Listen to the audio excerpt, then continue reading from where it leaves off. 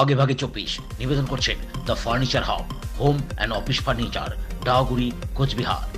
সহযোগী নিবেদক সুষমা কালেকশন, লক্ষ্মীনারায়ণ বস্ত্রালয়, কোচবিহার। অগ্নি নির্বাপক ব্যবস্থা মকল কোচবিহার এমজেএন মেডিকেল কলেজ ও হাসপাতালে। পর্যটকদের সুবিধার্থে নিউ জলপাইগুড়ি স্টেশন চত্বরে চালু হলো পর্যটক সহায়তা কেন্দ্র।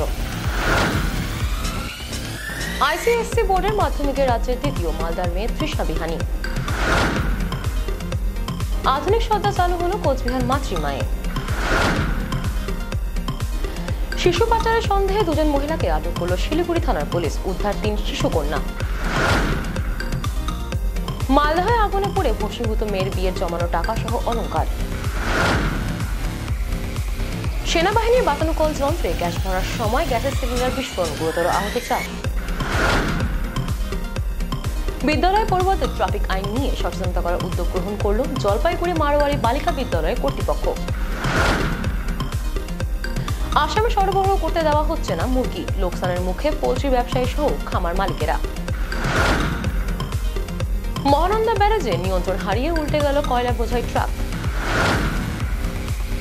পানীয় জলের দাবিতে কলসি বালতি রেখে টায়ার জ্বালিয়ে বিক্ষোভ এলাকাবাসীর। মানবিক উদ্যোগ ঝড়ে পড়ে যাওয়া গাছ পুনরায় স্থাপন করল বালুরঘাট পৌরসভা। দিল্লির উদ্দেশ্যে রওনা দিল বিজেপির সর্বভারতীয় সহ সভাপতি দিলীপ ঘোষ। বালুরঘাট রঘুনাথপুর কালিকাপুর সংযোগকারী আত্রি নদীর বাসের সাঁকর বদলে পাকা সেতুর দাবি। মাথাভাঙা কাঠের বাড়ি সংলগ্ন এলাকায় ব্যাপক ঝড় বৃষ্টিতে গাছ ভেঙে পড়ায় বিপত্তি। ধূপগুড়ি শহরের আতশবাজির দোকানে সতর্কতার অভিযান চালালো ধূপগুড়ি থানার পুলিশ।